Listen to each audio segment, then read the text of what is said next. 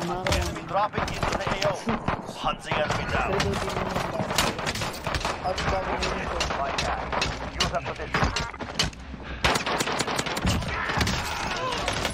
Getting close back.